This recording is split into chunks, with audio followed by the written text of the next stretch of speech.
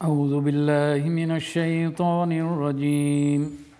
بسم الله الرحمن الرحيم.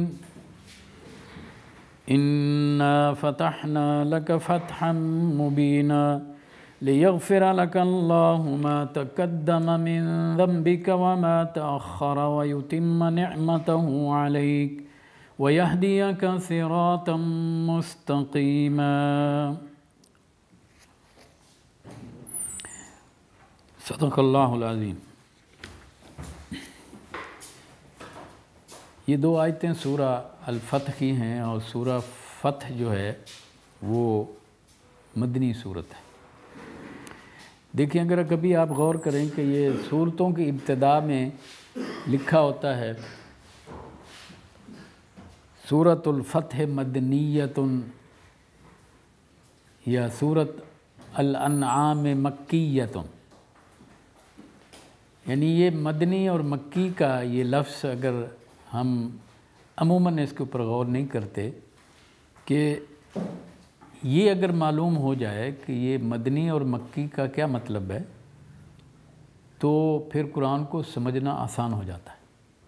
آسان کیسے ہوتا ہے کہ وہ قرآن جو ہجرت سے پہلے نازل ہوا ہے اور وہ تیرہ سال۔ بنتے ہیں، اس کو مکی قرآن کہا جاتا ہے۔ اور وہ جو ہجرت کے بعد نازل ہوا ہے، اس کو مدنی قرآن کہا جاتا ہے۔ تو یہ مکی اور مدنی کی بحث یہ ایک بہت بڑا قیم علم ہے، جس سے عموماً ہمارے مدرسین جو درس دیتے ہیں، وہ بھی اس کو ڈسکس نہیں کرتے ہیں۔ اور عموماً ہمارے ہاں جو ٹاپک دیے جاتے ہیں، اس میں بھی کبھی اس کو ڈسکس نہیں کیا جاتا۔ تو میں آپ کے سامنے اس لیے آج اس کو رکھ رہا ہوں کہ آپ کے علم میں یہ اضافہ ہوگا کہ ہمیں اگر یہ معلوم ہو جائے کہ یہ قرآن مکی ہے، یا یہ صورت مکی ہے، یا یہ آیت مکی ہے، تو اس کو سمجھنے میں اتنی آسانی ہو جاتی ہے کہ آپ حیران ہو جائیں گے۔ یعنی تیرہ سال قرآن جو ہجرت سے پہلے نازل ہوا ہے، وہ ایک ون پوائنٹ ایجنڈا ہے۔ ایک ہی ہے اور وہ ہے عقیدہ۔ عقیدے کے تین رکن ہیں۔ عقیدہ تین چیزوں پر مشتمل ہے۔ توحید، رسالت اور آخرت۔ اب آپ ذہن میں رکھیں کہ اس کا مطلب ہے کہ اگر آپ کو یہ معلوم ہو جائے کہ مکی صورت ہے یا مکی آیت ہے، تو پھر یہ تین چیزیں فوراً آپ کے ذہن میں آنے چاہیے کہ اس میں کیا چیز زیر بحث آئے گی؟ توحید، رسالت اور آخرت۔ اور جو مدنی ہے، اس کے اندر پوری زندگی انسانی جو ہے، وہ ساری ڈسکس ہوتی ہے۔ نکاح بھی ہے، طلاق بھی ہے، جنگ بھی ہے، صلح بھی ہے بین الاقوامی معاملات بھی ہیں۔ یہ سب کچھ پوری گویا کہ پوری زندگی اس میں ڈسکس ہوتی۔ نجی زندگی بھی، انفرادی بھی، اجتماعی بھی، جماعتی بھی، غیر جماعتی بھی، سب کچھ۔ حتیٰ کہ ایک خاتون ایک خاتون جو ہے، وہ جب اس کو خامند یہ کہتا ہے کہ تو میری ماں کی طرح ہے تو اور وہ اس وقت ہے بھی بوڑھی۔ اس کیفیت میں وہ اللہ کے رسول صلی اللہ علیہ وسلم کے گھر میں کھڑی ہے۔ اللہ کے رسول صلی اللہ علیہ وسلم سے یہ پوچھ رہی ہے کہ یا رسول اللہ، یہ کیا ہوا؟ میرے تو بڑے بڑے بچے ہیں اور میرا خامد تو خود بوڑھا ہو گیا، میں بھی بوڑھی ہو گئی۔ اب مجھے ماں بنا لیا، میں کدھر جاؤں؟ میں تباہ ہو گئی، میرے بچے تباہ ہو گئے۔ یہ کیفیت بیان کر رہی۔ لیکن دیکھیے یہ نکاح اور طلاق گھریلو زندگی کی بات ہے نا، اور ایک خاتون سے تعلق رکھتی ہے۔ تو جو ہی آپ کو پتہ چلے گا کہ سورہ مجادلہ مدنی ہے، تو آپ کو فوراً سمجھ آئے گا کہ اچھا اس میں وہ مکی ٹاپک جو ہے، وہ آتا تو ہے، لیکن وہ اصل نہیں ہے۔ اصل کیا ہے؟ وہ گھریلو معاملات۔ تو یہاں بھی اب یہ کہ جو پوری لائف ہے، اس کے سارے شعبہ جات ہیں زندگی کے، وہ مدنی قرآن میں ڈسکس ہوئے لیکن اس کے اوپر کبھی آپ سوچیں کہ ون پوائنٹ ایجنڈا تیرہ سال ڈسکس کیا گیا اور باقی ساری لائف اس کے سارے شعبہ جات کو دس سال کے اندر مکمل کر لیا گیا۔ بظاہر تو اس کو زیادہ وقت ملنا چاہیے تھا، لیکن میں نے بھی ایک دفعہ اپنے ایک استاد جو تفسیر پڑھاتے تھے اظہر یونیورسٹی کے وہ تھے، میں نے ان سے یہی سوال کیا کہ استاد، یہ بات بظاہر سمجھ نہیں آتی کہ ایک پوائنٹ کو، ایک موضوع کو تیرہ سال ڈسکس کیا گیا۔ اور ساری زندگی کے موضوعات کو جو ہے وہ دس سال کے اندر مکمل کر دیا گیا۔ کہا، میری زندگی میں پہلی دفعہ کسی اسٹوڈنٹ نے یہ سوال کیا۔ تو میں نے کہا، استاد، یہ مجھے سمجھ نہیں آتی۔ تو وہ کہنے لگے کہ بات یہ ہے کہ توحید، عقیدہ، ایمان ہی تو اصل ہے۔ اصل ٹھیک ہو نا، بنیاد ٹھیک ہو تو پھر جو عمارت اس کے اوپر بنائی جاتی ہے وہ ٹھیک رہتی ہے۔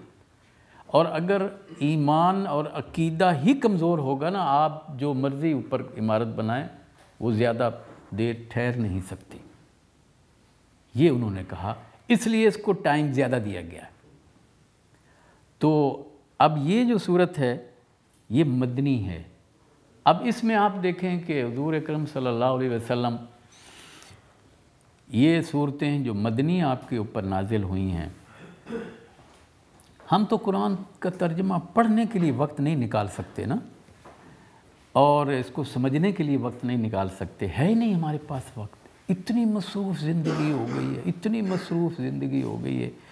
اور میں باقیوں کو تو کیا کہوں؟ خود جماعت اسلامی کے اس مرکز اور اس صوبے کے اندر جو ورکر ہیں وہ بھی اور جو ہمارے قائدین ہیں وہ بھی۔ وقت نہیں ہے کہ ہم قرآن کو پڑھیں۔ پچھلی دفعہ کس نے مجھے بتایا کہ سراج صاحب نے محسرم نے فرمایا کہ میں نے مدینہ میں یہ عزم کیا کہ میں روزانہ ایک پارا پڑھوں گا، وہ مشکل ہو گیا ہے۔ یہ کام کرنا۔ آپ مجھے بتائیں کہ اللہ کے رسول صلی اللہ علیہ وسلم سے کوئی بڑا دائی ہو سکتا ہے؟ ان سے زیادہ کوئی کام کر سکتا ہے؟ نہیں کر سکتا۔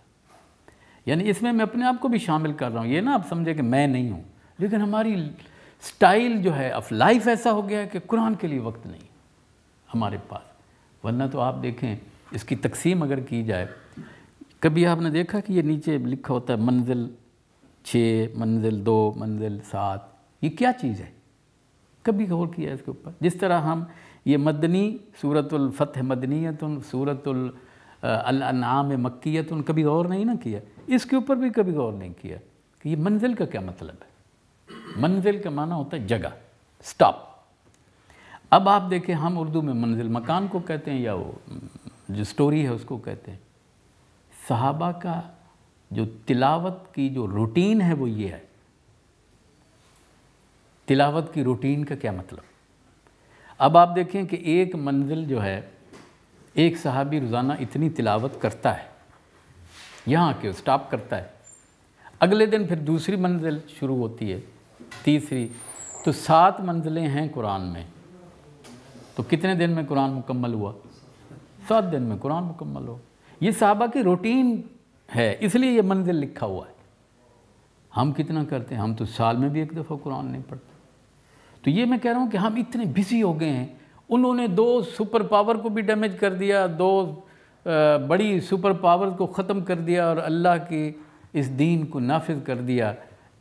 ان کے پاس وقت کہاں سے آ گیا؟ تھے تو ہماری طرح ہی نا انسان۔ لیکن ایک چیز جب اس کو کرنا انسان طے کر لیتا ہے تو ہو جاتا ہے۔ یعنی یوں سمجھیں کہ منزل کے اندر تقریباً پانچ، سوا پانچ پارے آتے ہیں۔ ہر نماز کے ساتھ ہمیں کیا اصل میں ہمیں ہمارے سٹائل کیا ہے؟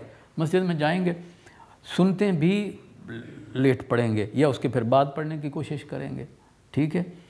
اب ہے کیا ہم جاتے ہی ساتھ جو بیٹھا اس کے ساتھ گفتگو شروع کر دیں گے۔ لگتا ہے کہ ساری گفتگو، سارے کام جو ہے نا، وہ ادھر ہی جو پندرہ منٹ سنتوں کے لیے تھے یا نفل کے لیے تھے، وہ اب اس کے ساتھ لگا دیے۔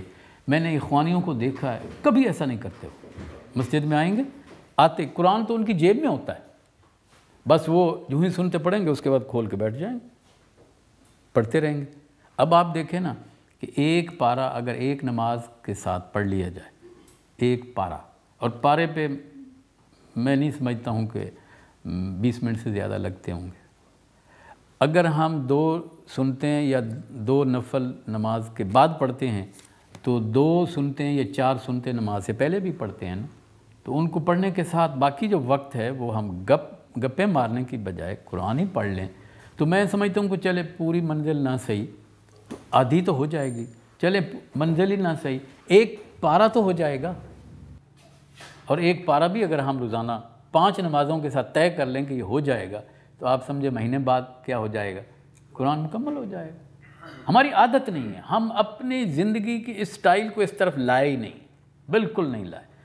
تو میں بات یہ کر رہا ہوں کہ یہ صحابہ جنہوں نے اس قرآن کو اس حیثیت سے سمجھا کہ تیرہ سال یہ مکہ میں اترتا رہا، ایک ہی پوائنٹ کو ڈسکس کرتا رہا اور وہ ہے عقیدہ، توحید، رسالت اور آخرت۔ اس کو انہوں نے مضبوط کیا۔ پھر آپ دیکھیں کوئی دنیا بھی ان کو مسخر نہ کر سکی، مال و دولت بھی ان کے سامنے کوئی چیز نہیں تھا، نہ ان کو کوئی خوف متاثر کر سکا، نہ ان کو کوئی طاقت متاثر کر سکے۔ اب آپ یوں سمجھیے کہ یہ جو صورت ہم پڑھنے لگیں اس میں یہ حالات، یہ موضوعات مدینہ کے ہوں گے۔ کیونکہ یہ لکھا ہوا نا صورت الفتح مدنیتن۔ اب میں نے آپ کو بتایا کہ ساری زندگی کے باقی سارے موضوعات مدینہ میں ڈسکس ہوئے ہیں۔ ایک عقیدہ مکہ میں ہوا اور اس میں لکھا ہے کہ یہ مدنی ہے سورہ فتح۔ تو اب اس لحاظ سے آپ دیکھیں کہ یہ جو اس میں واقعات آ رہے ہیں، وہ مدنی، مدین، مدینہ کے ہوں گے۔ ہوا یہ کہ تیرہ سال حضور اکرم صلی اللہ علیہ وسلم مکہ مکرمہ میں رہے، پھر آپ نے ہجرت فرمائی، مدینہ منورہ گئے اور وہاں چھ سال کے بعد آپ نے خواب میں دیکھا، اس کا ذکر قرآن میں آیا ہے کہ آپ اپنے ساتھیوں کو لے کر عمرے کے لیے جا رہے ہیں۔ تو حضور اکرم صلی اللہ علیہ وسلم نے اعلان کروا دیا کہ جو ہمارے ساتھ عمرہ کرنا چاہتا ہے، وہ ہمارے ساتھ چلے۔ تیرہ سال مکہ میں، مکہ تو چھوڑنا پڑا نا، اور ایک جنگ لڑی بدر بھی مکہ والوں کے ساتھ۔ ایک عہد لڑی اور احزاب بھی لڑی۔ تین جنگیں لڑ چکے ہیں۔ اس پس منظر کو آپ ذہن میں رکھیں۔ تین جنگوں میں، احزاب میں بھی شکست دی، بدر میں بھی شکست دی، عہد میں بھی ابتدا میں شکست دی، لیکن جو مورخ ہے وہ یہ لکھتا ہے کہ فتح اور شکست کہتے ہیں کہ میدان کس کے ہاتھ میں رہا؟ اس کو فتح کہتے ہیں۔ تو عہد کا میدان، حالانکہ ستر صحابہ شہید ہو گئے ہیں، لیکن کیا یہ لوگ جو مکہ سے آئے تھے، یہ تو میدان چھوڑ کے واپس چلے گئے، پلٹ گئے۔ کیا مدینہ کی طرف نہیں جا سکتے تھے؟ مدینہ میں انٹر ہو جاتے، مکمل قبضہ ہو جاتا۔ لیکن اللہ تعالیٰ نے ان کی عقل کو یہ کام نہیں کرنے دیا۔ وہیں اسی خوشی کے اندر، اسی خوشی کے اندر کہ ہم نے ستر جو ہے نا، بدر کا جو ہے، ہم نے بدلہ لے لیا ہے۔ اسی خوشی کے اندر وہ پاگل ہو گئے اور وہ واپس مڑ گئے۔ راستے میں کہیں ذکر پڑاؤ ڈالا ان کو خیال ہے کہ یہ تو ہم سے بہت بڑی غلطی ہوئی۔ ہم مدینہ کی طرف جاتے مدینہ میں تو صرف تھے ہی، تھی ہی عورتیں۔ یا یہودی تھے۔ تو مسلمان تو اپنی مصیبت میں تھے۔ ان کے ستر لوگ شہید ہو گئے، وہ تدفین میں لگے رہے، سارا مشکلات تھیں۔ زخمی الگ تھے۔ تو انہوں نے کہا اچھا اب دوبارہ پلٹ کے جاتے ہیں۔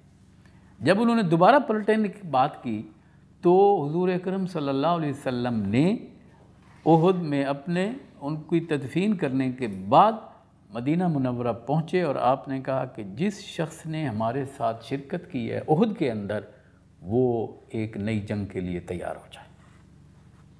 زخمی لوگ ہیں۔ مطلب جنگ جس کے اندر ستر لوگ، ہر گھر کا تقریباً ایک آدمی شہید ہو چکا تھا۔ کدھر جانا ہے؟ جنگ کے لیے چلو۔ اس کیفیت میں اور یہ بھی کہا کہ جو شریک نہیں ہوا وہ نہیں جائے گا ہمارے ساتھ۔ تازہ دم آدمی نہیں جائے گا۔ وہی جائے گا جس نے وہاں شرکت کی۔ یہ ایک اور آزمائش تھی۔ تو زخمی بھی نکلے۔ ایسی روایات بھی آتی ہیں کہ ایک زخمی چل نہیں سکتا تھا، دوسرا چل سکتا تھا، لیکن وہ نبینا تھا۔ نبینا نے اس زخمی کو اپنے کندھے پہ اٹھا کے شروع کر دیا سفر۔ اللہ کے رسول کا حکم ہے۔ جا رہے ہیں۔ یہ کیفیت جب وہ واپس پلٹنا چاہتے تھے ان کی ابو سفیان کی قیادت میں کہ ہم مدینہ پہ دوبارہ حملہ کریں۔ انہوں نے کہا، تم واپس پلٹنے، کسی نے ان کو خبر دی، تم واپس پلٹنے کی بات کرتے ہو۔ وہ تو تمہارے پیچھے محمد صلی اللہ علیہ وسلم اپنی فوج لے کر آ رہا ہے۔ تم کدھر واپس، واپسی کا سوچ رہے ہو؟ تو یہاں سے ان کے حوصلے پست ہو گئے۔ یہ وہ بات ہے کہ اس جنگ کے اندر بھی، احزاب میں بھی، بدر میں بھی، جن کو شکست سے دوچار ہونا پڑا ان کے گھر کی طرف جایا جائے آ بیل مجھے مار۔ یہ تو وہی بات ہے نا۔ لیکن چودہ سو لوگ اس کام کے لیے کہ ہم جائیں گے، عمرہ کرنے کے لیے۔ اب آپ دیکھیں کہ یہ جو صورت ہے، یہ آگے چل کے پورے حالات بیان کرتی ہے۔ اور ایک تحریک سے تعلق رکھنے والے آدمی کے لیے اس صورت کے اندر بڑے سبق ہیں۔ بڑے ازمائشیں ہیں، بڑی ازمائشیں ہیں۔ لیکن یہ کہ یہ لوگ بھی آخر انسان ہی تھے نا ہماری طرح۔ اس تحریک کے فرد تھے، اس جماعت کے فرد تھے۔ کیسے انہوں نے یہ سب کچھ قبول کیا؟ دیکھیں کہ یہ چودہ سو نفوس جو ہیں، یہ اللہ کے رسول صلی اللہ علیہ وسلم کی قیادت میں اور مدینہ منورہ سے نکلتے ہی بئر علی ایک جگہ ہے، آبار علی کے نام سے ہے۔ وہاں اب تو مدینہ وہاں پہنچ گیا ہے۔ شہر وہاں تک پہنچ گیا ہے۔ وہاں سے احرام انہوں نے چینج کیا۔ احرام دو چادریں وہ پہن لیں اور پھر اس کے بعد اپنی قربانی کے جو جانور تھے وہ بھی ساتھ لیے۔ کیونکہ اس وقت عمرے کے لیے بھی قربانی کا جانور کیا جاتا تھا۔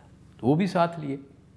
اور لبیک اللہم، لبیک لبیک، لا شریک لک، لبیک، ان الحمد والنعمت لک والملک، لا شریک لک۔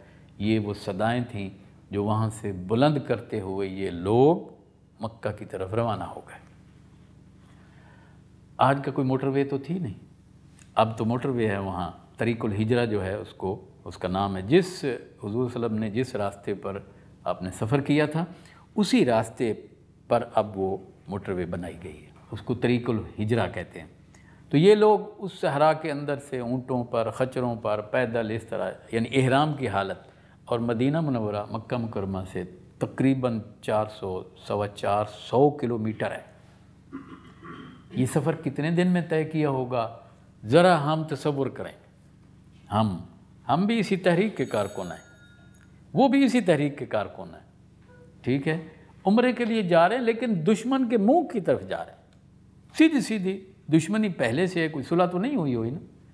یہ خطرہ اپنی جگہ ہے، لیکن یہ ہے کہ وہ جا رہے ہیں اور مکہ مکرمہ جب وہ پہنچتے ہیں، تو ایک وہاں مسجد حرام کا ایک دروازہ ہے، اس کا نام ہے باب العمرہ یعنی عمرے والے لوگ جو ہیں، وہ اس سے داخل ہوتے ہیں۔ تو حضور اکرم صلی اللہ علیہ وسلم نے بھی اسی طرح کہ ہم اس دروازے سے داخل ہوں گے، لیکن جو سامنے تھا، وہ خالد بن ولید۔ اپنے، ایک روایت میں آتا ہے کہ چھ سو گھوڑ سواروں کے ساتھ کچھ آتا ہے، تین سو۔ بہرحال وہ اپنے اس دستے کا کمانڈنگ کرتے ہوئے وہ سامنے آ گیا اور اطلاع ملی کہ ہم تمہیں مکہ میں داخل نہیں ہونے دیں گے۔ وہی بات جو ساڑھے چار سو کلو میٹر سفر کرنے کے بعد یہ اطلاع ملے کہ یہ تو عمرہ نہیں ہو سکتا۔ اور یہ کعبہ کی تاریخ میں پہلی دفعہ تھا۔ کہ کعبہ کے متولی جو ہیں، انہوں نے لوگوں کو کانا کعبہ میں داخل ہونے سے روک دیا۔ یہ پہلی دفعہ ہوا۔ وگرنہ وہاں تو یہ ہے کہ اگر قبائل کی دشمنیاں چلتی تھیں، لیکن یوں روک، روکتا کوئی نہیں تھا۔ قریش کم از کم نہیں روکتے تھے۔ کیوں؟ متولی تو وہ تھے، لیکن اس وقت روکنے والے قریش ہی تھے۔ خالد بن ولید اس دستے کا، اور باقی وہ جو انٹیلیجنس جو حضور اکرم صلی اللہ علیہ وسلم کی تک جو معلومات پہنچ رہی تھیں، وہ یہی پہنچ رہی تھی کہ یہ کسی صورت ہمیں داخل نہیں ہونے دیں گے۔ بہرحال، حضور اکرم صلی اللہ علیہ وسلم نے حکمت کے تحت کہا کہ ٹھیک ہے، ہم باب العمرہ سے داخل نہیں ہوتے، ہم دوسری طرف سے آ جاتے ہیں۔ حکمت، ہم لڑائی نہیں چاہتے، ہم احرام کی حالت میں ہیں۔ ہم بہرحال احترام کریں گے اس جگہ کا جو اللہ کا گھر ہے کہ وہاں لڑائی نہیں۔ اب آپ دیکھیں وہ پہاڑی علاقہ ہے اور سنگلاخ پہاڑ ہے۔ حضور اکرم صلی اللہ علیہ وسلم اسی مکہ میں پیدا ہوئے، وہیں بھیڑ بکریاں چرائیں اور اس کے ایک ایک پہاڑ کو جانتے تھے۔ لیکن بہرحال انسان تو انسان ہے۔ آپ نے فرمایا کوئی ایسا شخص ہے جو ہمیں مکہ کی اس حدود سے نہیں، دوسری حدود سے گائیڈ کرتے ہوئے ہمیں پہنچا دے۔ راستہ کوئی جانتا ہے۔ عربی میں اس کو دلیل کہتے ہیں۔ تو ایک صحابی انہوں نے کہا جی میں کہا، لے چلو۔ اب چودہ سو لوگ ہیں، احرام کی حالت میں ہیں۔ ان کے جانور بھی ساتھ ہیں اور پانی بھی ہر ایک نے اپنے اپنے ساتھ لیا ہوا۔ ہے پانی تو پینے کو نہیں ملتا نا وہاں، تو وہ بھی ہے۔ کھانے پینے کی چیزیں بھی ہوں گی۔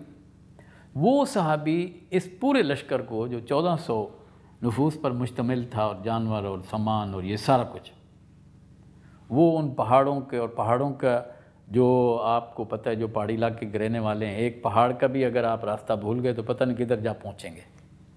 وہ کرتے کرتے وہ راستہ بھول گئے۔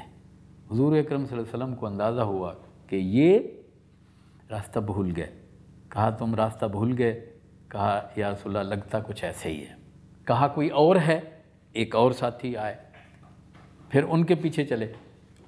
اور وہ بھی اسی طرح نہ پہنچا سکے اس جگہ راستہ وہ بھی بھول گئے۔ پہاڑی علاقہ ہے۔ اور پھر ان کو تو گئے ہوئے ہی یعنی چھ سال ہو گئے ہیں۔ تو بہرحال یہ ہے کہ وہ پھر حضور اکرم صلی اللہ علیہ وسلم نے ایک تیسرے ساتھی وہ اس لشکر کو لے کے ایک جگہ ہے حدیبیہ۔ اور جہاں آپ نے نام سنا ہوگا، صلح حدیبیہ۔ وہ یہ حدیبیہ، اب تو مکہ کا ایک محلہ ہے وہ۔ پہلے وہ باہر تھا، وہاں پہنچ گئے۔ اب آپ دیکھیں کہ ایک لشکر، ایک گائیڈ نے کرتے کرتے تھکا دیا، پھر دوسرے نے بھی تھکا دیا، تیسرے نے پہنچا تو دیا، لیکن اب تو تھک گئے سب، لشکر ہی تھک گئے سارا۔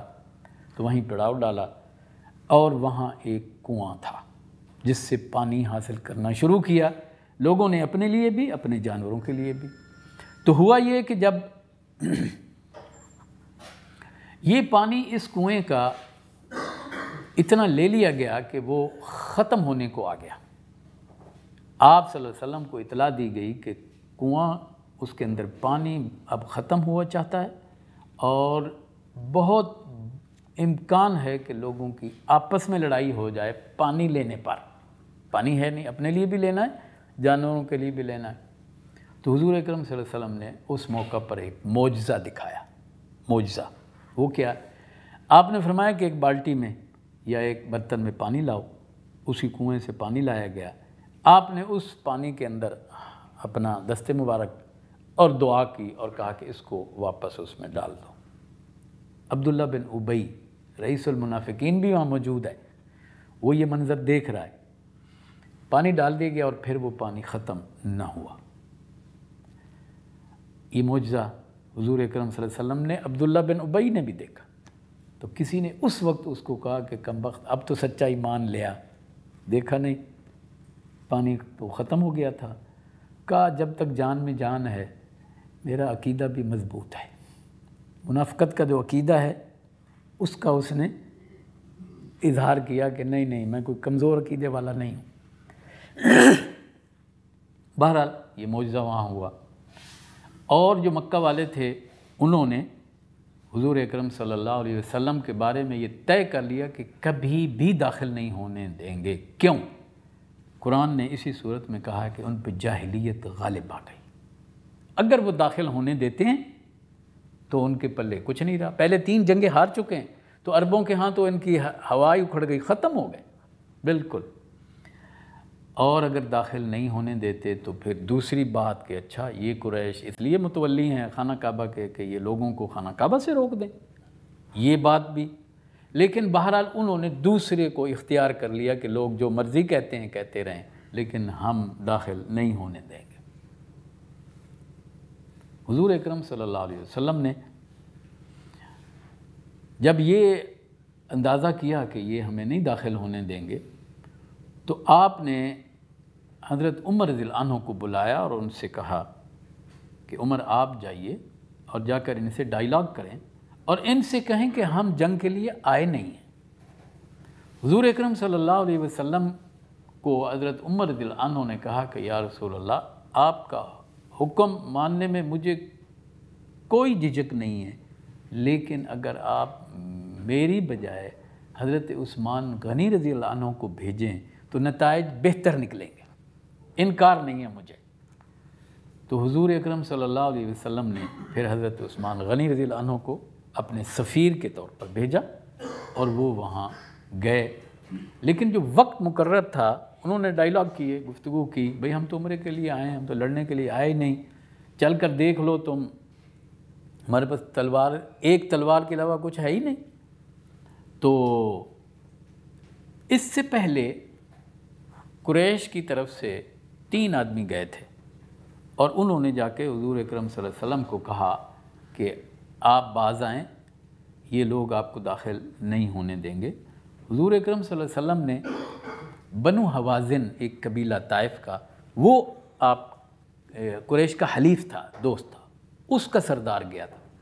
تو حضور اکرم صلی اللہ علیہ وسلم نے فرمایا کہ آپ ایک قبیلے کے سردار ہیں پولیٹیکل فگر ہیں، آپ جانتے ہیں۔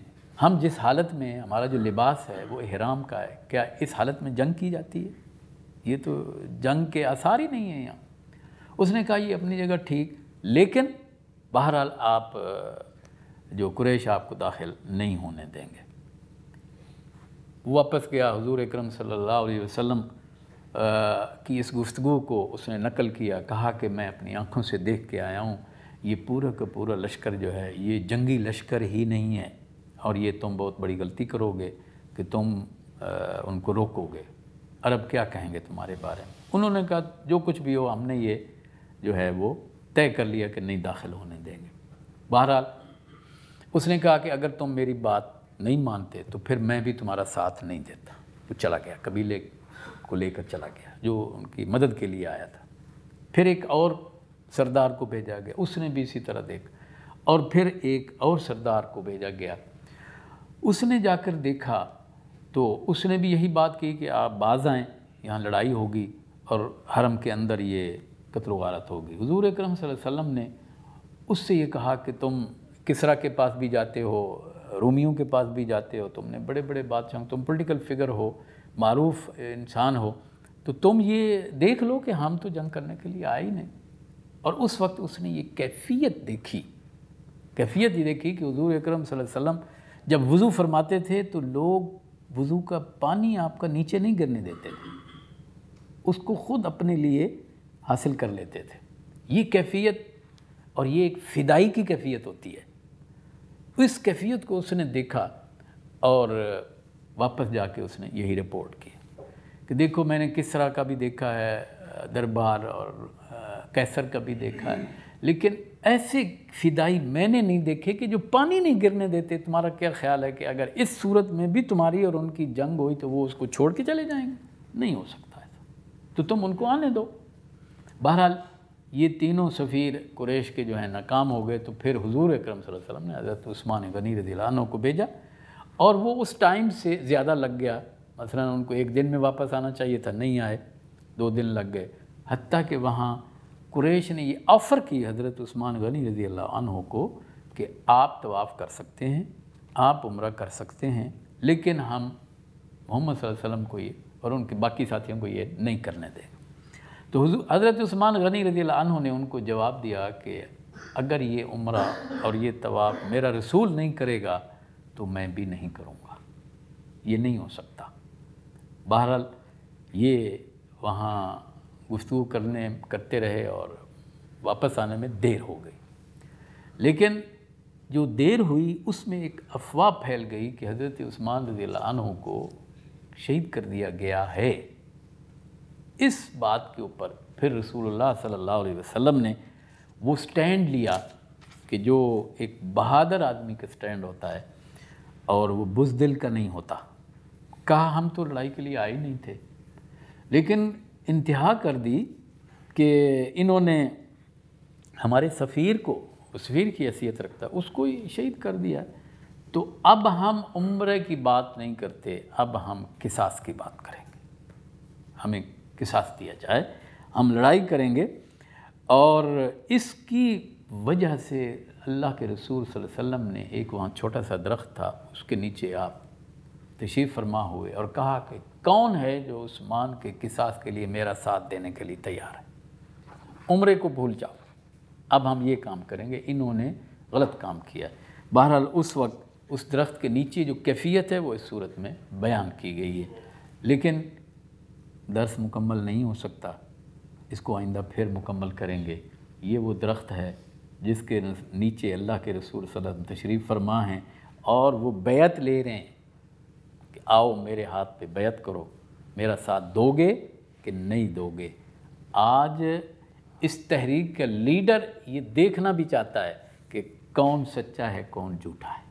تو وہاں بیٹھے، بیعت کے لیے آپ بیٹھ گئے اور صحابہ نے آنا شروع کیا۔ بس میں وہ آیت پڑھ دیتا ہوں کہ یہ بیعت اللہ کے ہاں کتنی اہمیت رکھتی تھی یہ۔ اور وہ، ان الذین یبایعون کا انما یبایعون اللہ۔ یہ جو آپ کے ہاتھ پر اللہ یہ کر رہے ہیں بیعت، یہ آپ کے آپ کی بیعت نہیں، یہ اللہ کی بیعت کر رہے ہیں۔ ید اللہ فوق ایدیہم۔ اگر یہ اللہ کی بیعت کر رہے ہیں، تو پھر یہ یاد رکھیں کہ اللہ کا ہاتھ بھی ان کے ہاتھوں پر ہے۔ کیا مقام آ گیا ہے؟ اس اخلاص کی کیا قدر اس کے ہاں ہوئی ہے؟ سیدھی سیدھی موت نظر آ رہی ہے۔ لڑائی ہوگی، موت آئے گی۔ نہیں جیت سکتے۔ لیکن اللہ نے کہا، فمن نقص فانما ينقص على نفسه ومن اوفى بما عاهد علیہ اللہ فسیوتی اجر عظیمہ اس کو ہم مکمل کریں گے انشاءاللہ۔ وآخر دعوانا الحمدللہ